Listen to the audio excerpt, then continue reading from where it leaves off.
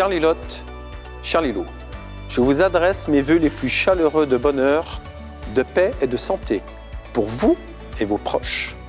L'année écoulée nous a rappelé plus que jamais l'importance des valeurs de solidarité et d'entraide.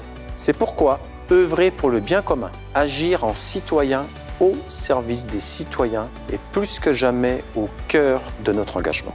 Je souhaite que l'année 2021 brille de notre énergie collective, qu'elle soit placée sous le signe du vivre ensemble, du partage et de l'innovation, que le lien entre les citoyens, les agents et les élus se développe et se renforce. Quel que soit votre âge, votre quartier, c'est avec vous que nous construisons notre ville, celle du quotidien et aussi celle de demain.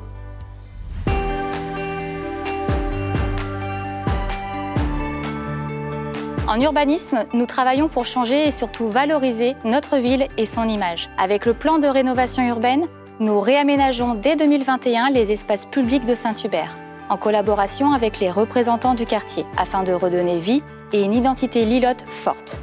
À terme, le quartier sera plus fonctionnel, plus apaisé, un lieu de vie entre le parc Saint-Hubert et la réserve 2000. Le PLU fonctionne depuis trois ans maintenant.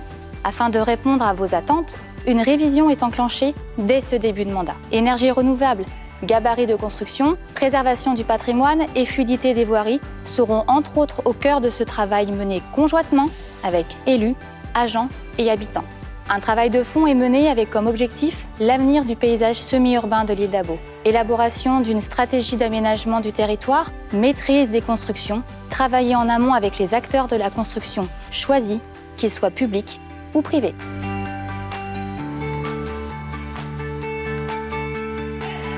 Cette première rentrée scolaire du mandat a été marquée par le protocole sanitaire en vigueur. Nous avons réalisé des dépenses en plus pour les produits d'entretien, que ce soit les savons ou les produits de ménage, mais aussi d'un point de vue humain.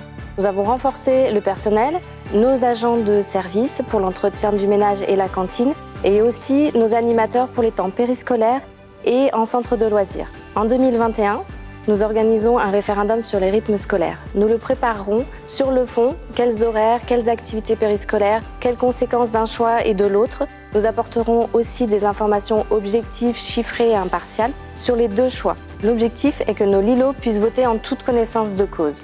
Sur la forme, ce référendum sera en ligne, de manière sécurisée et aussi en veillant à l'accessibilité pour ceux qui sont moins à l'aise avec l'outil informatique.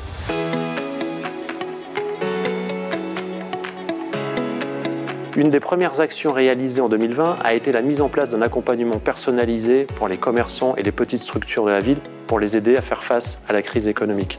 Nous avons aussi commencé à développer et à agrandir le marché du bourg en accueillant plusieurs commerçants différents. En 2021, nous allons travailler à l'installation d'une pépinière d'entreprise située à l'entrée de la zone d'essai. Cette pépinière d'entreprise permettra d'accueillir des porteurs de projets et des petites structures avec un espace de coworking et différents bureaux pour qu'elles puissent se développer et travailler.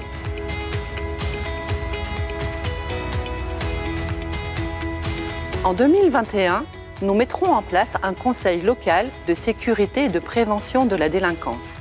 C'est une instance autour de laquelle se mobilisent des organismes publics et privés tels que le préfet, le procureur de la République, la gendarmerie et la police municipale mais aussi des associations ou organismes œuvrant dans le domaine de la prévention, de la sécurité et de l'aide aux victimes.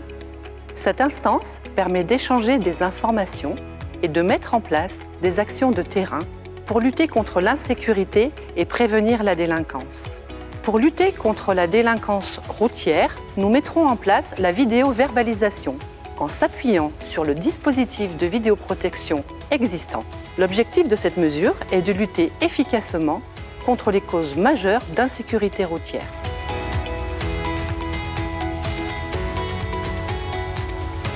En 2020, nous, élus, agents, citoyens Lilo, avons participé chaque mois à une action propreté dans les quartiers. La propreté de notre commune est une tâche quotidienne. C'est pourquoi nous intensifierons en 2021 les actions sur cette thématique. Une naissance, un arbre. Nos bébés Lilo vont devenir chacun par un d'un arbre, symbole de vie et de croissance. Dans un monde où les enfants sont de moins en moins connectés à la nature, sensibilisons nos tout petits aux bénéfices de préserver les arbres. En 2021, la cour du groupe scolaire des Fauvettes sera refaite. Moins de goudron, plus de verdure et des arbres pour de la fraîcheur.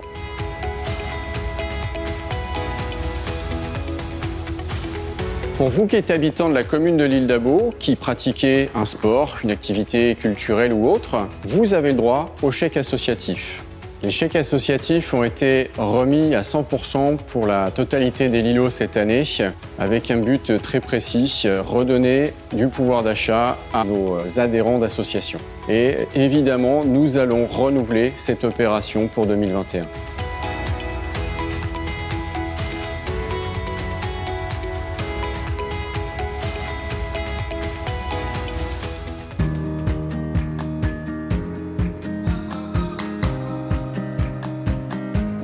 Le bien-être et la santé des Lilos sont des actes essentiels pour nous. Avec le projet Ma commune, ma santé, nous avons mis en place la mutuelle communale qui propose des contrats de santé mutualisés avec garantie et tarifs négociés pour tous les Lilos qui le souhaitent. Avec la cellule d'écoute solidaire qui a vu le jour lors du premier confinement, nous répondons à un besoin d'écoute, de soutien individuel et téléphonique des seniors, mais aussi des personnes vulnérables qui se sentent isolées. Notre objectif pour 2021 est de poursuivre ce dispositif. Nous avons consulté la population. L'analyse des réponses met en évidence les besoins d'information, de prévention et d'accès aux soins des Lilos.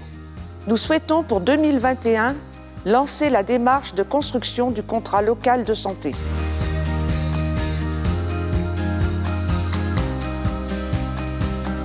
L'année 2021 sera consacrée à bâtir le projet du futur pôle culturel pour répondre au mieux à vos besoins. Un collectif d'action a déjà été formé afin de représenter le triptyque agents, élus, citoyens et un questionnaire sera bientôt diffusé au plus grand nombre. Ce nouveau lieu verra le jour sous notre mandature et toute l'équipe municipale est déjà à pied d'œuvre avec les services sur ce projet. Nous voulons vous offrir un espace de partage, de découverte, d'émotion à travers la culture sous toutes ses formes. Un espace de lien social où chacun pourra trouver sa place, habitant de tout âge, association, artistes, un lieu où la convivialité et la liberté de créer, découvrir, se divertir rayonneront.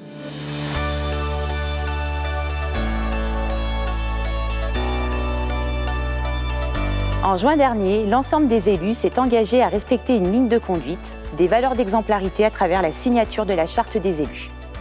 Un service public de qualité passe avant tout par le professionnalisme des agents. En 2021, nous continuerons d'aller à leur rencontre afin de solidifier cette relation de confiance que nous avons établie depuis le début de notre mandat. Nous sommes à leur écoute afin qu'ils travaillent dans de bonnes conditions et parviennent ainsi à rendre le meilleur service possible aux usagers Lilo.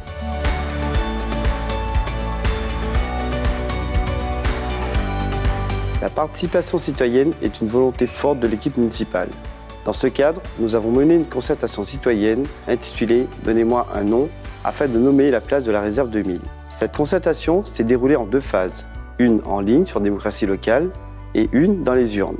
Avec 43,1% des votes, les Lilos ont plébiscité la place des Alpes. Nous souhaitons inaugurer cette place en 2021 dès que les conditions sanitaires le permettront.